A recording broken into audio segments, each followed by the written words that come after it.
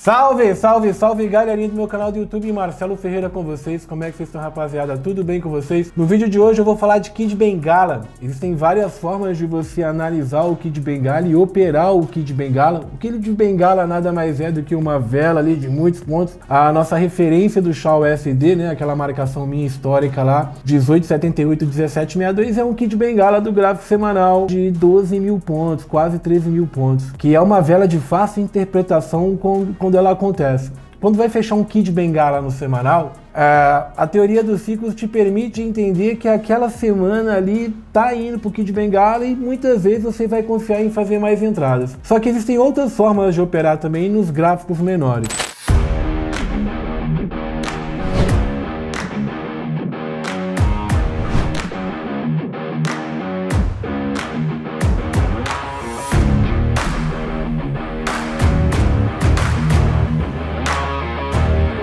Por exemplo, gráfico M15, vai acontecer algum padrão ali do Kid Bengala que muitas vezes, dependendo, você não vai entrar na ordem. Gráfico M1 em horário de notícia, também ele é bem operável ali. E eu vou mostrar na aula de hoje, né, todas as possibilidades para você ficar de olho aí quando acontecer o kit e conseguir aí operar certinho, beleza? Bom, temos aqui minha tela compartilhada. Primeiro eu vou falar do kit do semanal, tá? O que é um kit bengala aí no semanal? É nada mais do que o fechamento do gráfico semanal. Então vamos ver aqui a vela semanal que é o seguinte.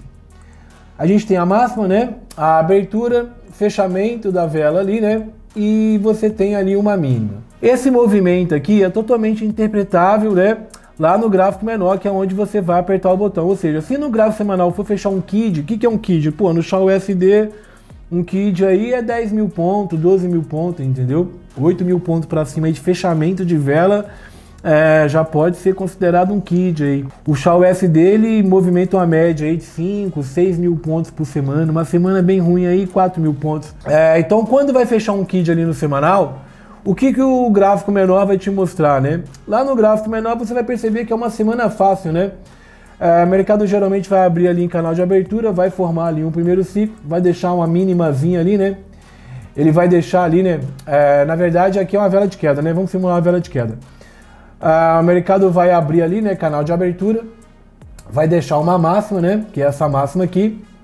Vai voltar ali para o primeiro ciclo, né? Geralmente, vai perder ali o primeiro ciclo e vai começar a testar as bases, né? Segundo ciclo, fazer o pullback, terceiro ciclo, e depois do terceiro ciclo, já é uma grande indicação ali de uma possibilidade de Kid Bengala. Até o 100% ali do terceiro ciclo, o mercado ainda pode corrigir bastante, principalmente ele pode corrigir até o preço de abertura geralmente, principalmente o Shaw. Mas do quarto ciclo para cima, quando o mercado ali está já gerando o quarto ciclo, aí a possibilidade de Kid Bengala é muito grande, você pode operando ele na mãe ali, né? É só crescendo aí o ciclo, geralmente cinco ciclos, seis ciclos é muito difícil. Se der um kit bengala ali de uns 12 mil pontos ali, vai dar uns 4 ciclos ali, dependendo do canal, 5 ciclos no chão.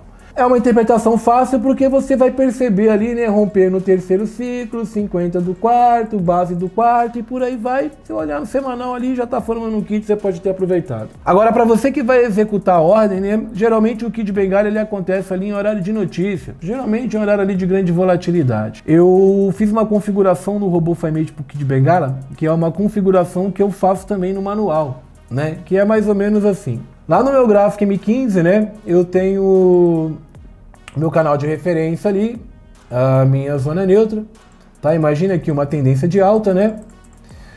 Ah, mercado dentro do canal, ele varia e rompe num kit. Ali, fechou um kitzão ali, plá, plá, plá, plá, plá, quase que o tamanho do canal, quase que o dobro do canal aqui, fecha no kit bengala lá em cima. Se eu estou operando M15, eu vou executar essa ordem no M15, né? Geralmente eu não executo essa ordem no kit, eu fiz essa configuração no robô, eu não executo essa ordem, eu vou subir o canal até a base do kit, vou fazer a minha expansão até lá em cima na base do kit, tá? Isso aqui operando no M15 é, e vou esperar a próxima vela. Então, na hora da notícia, geralmente, para quem opera no M15, né, vai esperar a notícia passar ali, vai esperar a vela fechar, vai subir o canal até a base do kit. Não é legal entrar ali no rompimento quando acontece a vela muito forte. O que, que é um kit, Marcelo? Cara, um canal e meio aqui para cima da sua expansão, dois canais aqui já é um kit, entendeu? Isso aí já pode se considerar um KID. Aconteceu o KID, sobe a expansão até a base. Perfeito? Nas próximas velas, sim, rompeu a base do KID comprado. Canal de referência zona neutra voltou ali vendido. Uh, porque o mercado pode corrigir, você vai buscar ali um pullback, né? Geralmente um pullback até o canal anterior, ou até mesmo até o preço de abertura aí, dependendo. É uma possibilidade também que pode acontecer. Lembrando que isso aqui é um quadro mais agressivo, né? Porque o cara mais conservador aqui, né, nessa primeira ordem, ele só vai vender aqui embaixo, né? Quando o mercado literalmente virar jogo ali. Ah, então isso aqui é a forma de você operar o KID, por exemplo, num gráfico de 15 minutos, né?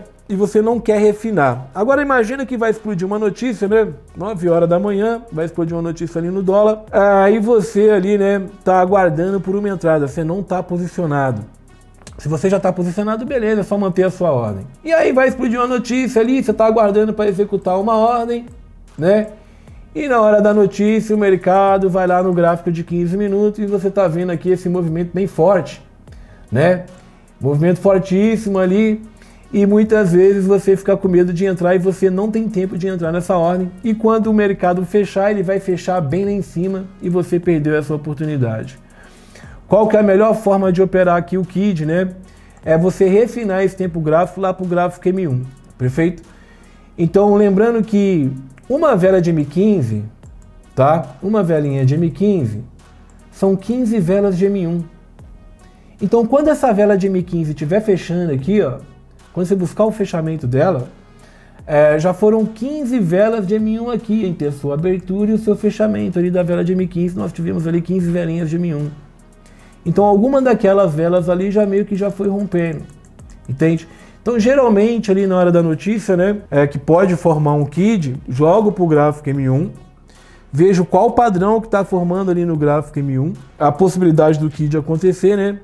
E geralmente ali eu executo a ordem, né? É, no momento que está ali o rompimento. Então o mercado está rompendo a região importante ali do canal de referência, que era a minha marcação de entrada.